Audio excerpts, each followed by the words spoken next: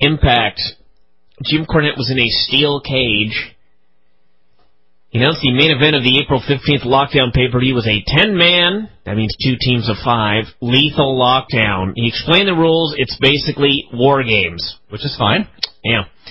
Introduced captain number one, Christian. Captain number two was Kurt Angle. He said each man had to pick their own teammates. He advised them to choose quickly and choose wisely. And I thought, why quickly? What's the hurry? Well, he, well, he penalized them fairly. Why can't he wait till April 15th? Why can't he have a couple mystery men? Perhaps that would throw his opponents off their game. Well, because Jim Cornette's mean. Must be.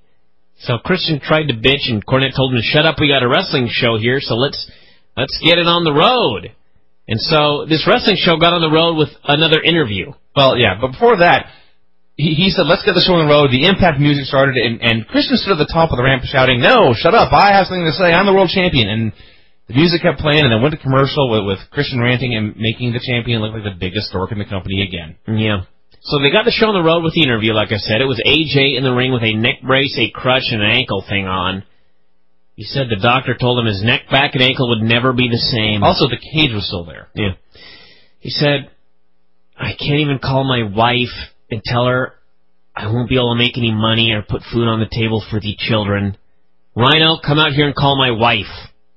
And I thought, he hadn't been home all week. She didn't watch the pay-per-view. She's unaware her husband's injured after four days. This actually made sense in the end, but so out Rhino came and and they got an argument and and AJ's like, listen, I understand what you were trying to. I understand you were trying to help me. I understand. And I thought, help him with what? He threw you off the X. What am I missing here? what part of the story am I missing? What was Rhino trying to help AJ with? Perhaps a video package would have helped. A video package here would have helped substantially, but a- after thinking about it, I, I did recall that this whole shebang started because Rhino didn't want to see AJ and Chris Daniels fight. because Okay, they so friends. he's referencing something mm-hmm. from 2006, Yes. Likely the middle of 2006, Well, late, it was late 2006. and they didn't show a recap. no. Nor did they mention Daniels by name. Boy, they're dumb. They are, in fact, dumb. So yeah, so then uh, AJ's like, I just want this to be over. So they shook hands, and and of course, as Rhino turned his back, AJ tried to hit him with the crutch. Rhino, of course, caught it, and so then AJ had to kick him in the balls after that, beat the crap out of him, and then uh, after commercial, Christian was beating on Rhino. Yeah, they went to commercial as the men started brawling in the cage. When they came back, the fight was still going on. Mm, yeah, and then Angle and Joe made the save, and Christian ran for his life. And that was that. I thought AJ was awesome here. He had a being injured and, and being cowardly. I mean, to, to to be the injured person with a big scary guy in the ring, it, your instinct there would be to cheer for the injured guy because he's he's you know the the underdog. But AJ was such a pussy that everyone hated him anyway. Hmm. Hmm. And he's a heel. Well, he's a heel. Then we had LAX cutting a promo with their new pal Alex Shelley. this was just wacky, but it worked. Unlike a lot of the wackiness on this show, It works great. he's a guy that just doesn't fit in, but they they have enough respect for his ability to have him in the group. But Sure. they realize he's a white guy, Oh, he's very white. and they they they look sideways at him. His name's Patrick for crying out loud. They should put that in the storyline. Then we had a wacky meeting with Jeremy Borash, Chris Sabin, and Bob Backlund. I must interrupt you. You forgot the best part of the Konnan Shelley package or uh, promo, which is where Konnan, I, I, I think he said to Bubba, "Your stupidity is matched only by your obesity." I did miss that. that was a great line. that was another funny line later, actually. So then we had Borash, Saban, and Backlund in a, in a segment that went like two minutes, and they've only got an hour. They've only got an hour. I need a, s- uh, a- just a sound effect of somebody crying, just weeping. oh, yeah. Only got an hour. We only have one hour. We don't have time. We only have one hour. We don't have time. You can't tell stories in one hour.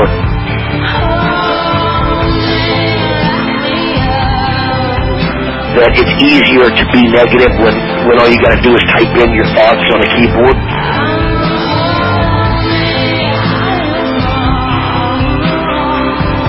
An hour show is 42 minutes.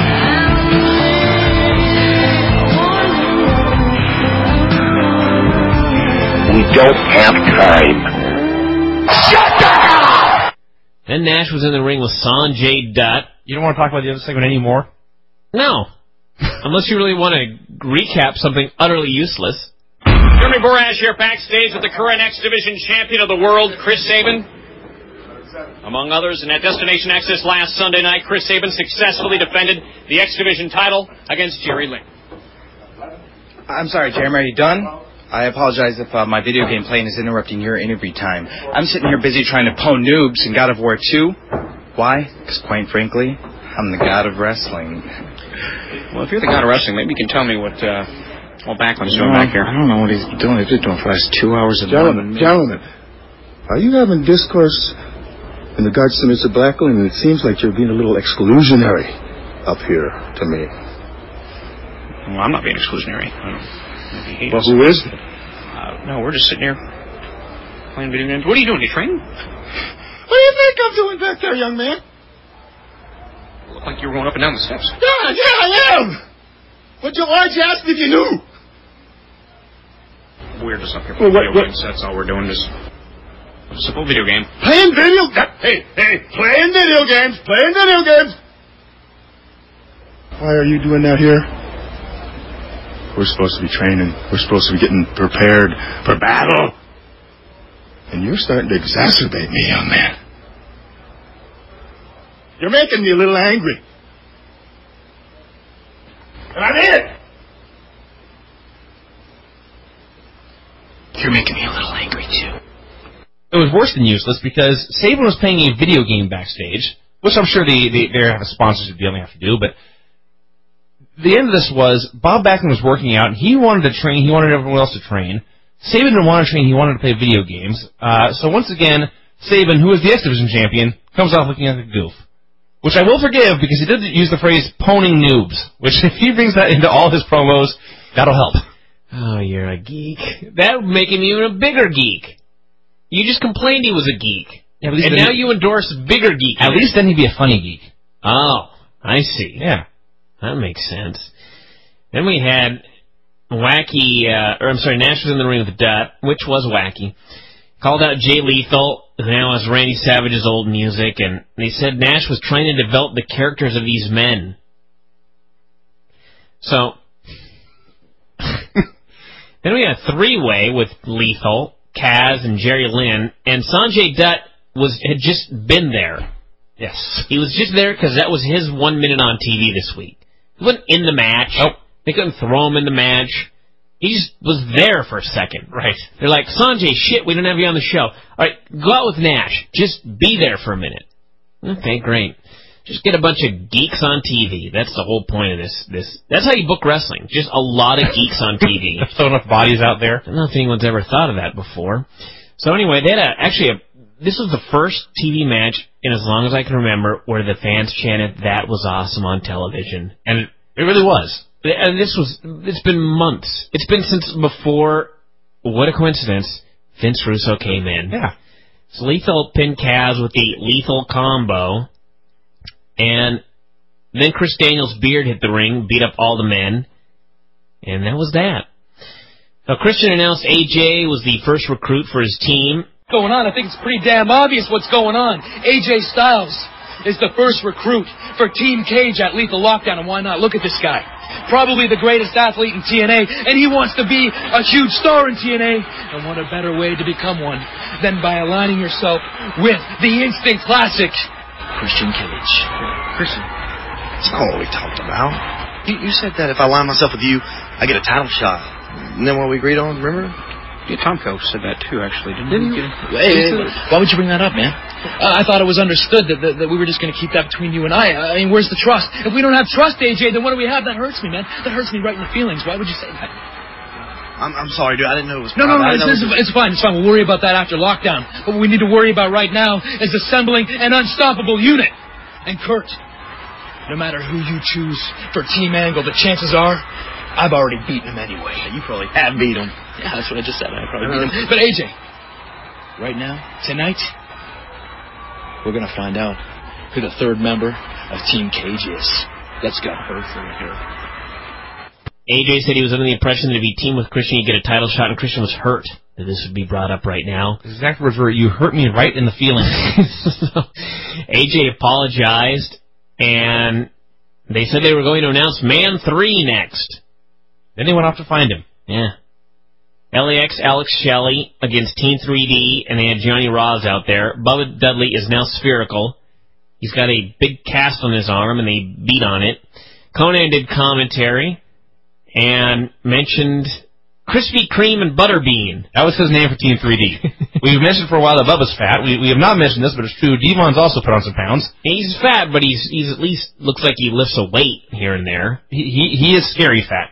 Yeah, Bubba's just fat, and and and Konnan referred to him that referred to them as Krispy Kreme and Butterbean. yeah. I like fine name. Spike was in the ring, and Tenay, uh, Konnan's like, "Is he drunk right now?" And Tenay, Tenay goes, "It's Brother Runt. What do you think?"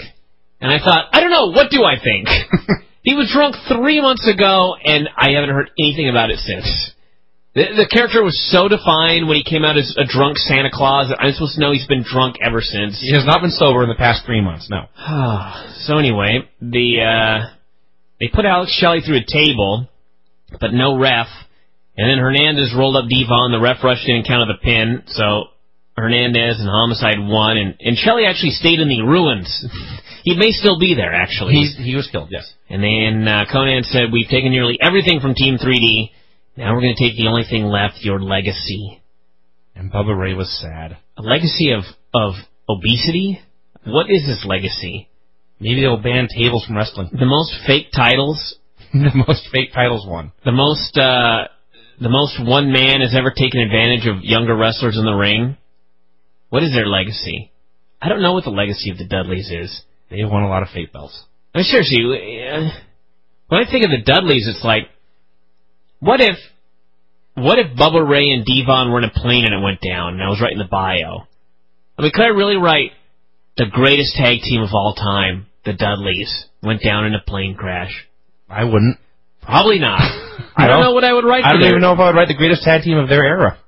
Well, They managed to stay together for a long time. There's something. They have. I don't know what the legacy of the Dudleys is. Then we had more with. I saw actually Serotonin was doing some wackiness. This was wacky. They're about to embark on a journey into pain. That was what Raven said in his Halloween costume. this is so. God bless Raven. Does he watch this stuff and realize how wacky it is? He, he's like, He's "My- not stupid. My He men are about to embark on a journey of pain. I don't care about wins and losses. I never have. I only care about f- Psychological pain. what was the word he used? Because I wrote embarking again. Inflicting. Inflicting psychological pain on his opponents. He didn't even care about physical pain. He No. wants to hurt their feelings. Yes. He wanted them to all feel like they did when their parents beat them as children.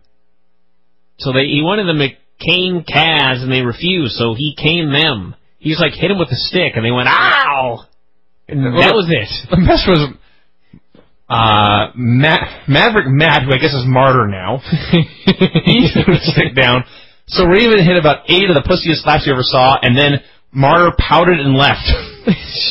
so he turned to Johnny Devine, whose name I totally forget, and he said, "Here, Havoc. Havoc." Sorry, there's another Havoc I know who I don't want to get confused, but he turned, he turned to him and said, "Here, you cane him." And Havoc put the stick down, so Raven caned him. And Raven turned to the camera and said something, and it was all so terribly hokey. And I, I, I guess this counts as build. He won't, he now wants them to hit each other, and they refuse. I guess that's where it's it's gone. The uh, build, yeah, sure. No one cares. Oh God. This show. Then we had Eric Young and Robert Roode, and as you said, who could care? I don't even want to talk about it. Christian cut a promo. He introduced the third member of Team Cage, Abyss. Wow, said Mike Tenay. So he came down the ramp, and then Sting appeared. And even though they beat the shit out of each other and put each other in coffins on Sunday, now they're friends. And he said Abyss had one more thing to admit for his own good, which we'll learn next week, which is that he has a normal mom. And then Christian and Sting argued, and then Cornette said, next week, Christian and AJ versus Sting and Abyss. We'll find out what team Abyss is on. Sounds like he's on Sting's team. what it sounds like. So Sting said no, and he was totally babbling his lines. I don't know what happened, but finally he just goes, "Let's do it right now." And he jumped in the ring, and they all brawled, and and I've seen worse impacts. That's all I can say about yeah, it. Yeah, I just know that we just watched the pay per view last Sunday, and I think every feud from that pay per view, most of which had stipulation matches, is still going on. Yeah, nothing ever changes. Nothing. It's not even. You can't even say they're treading water. I mean, it's the same show. Yeah. That's bad. Let's see. Thumbs here. down for Impact.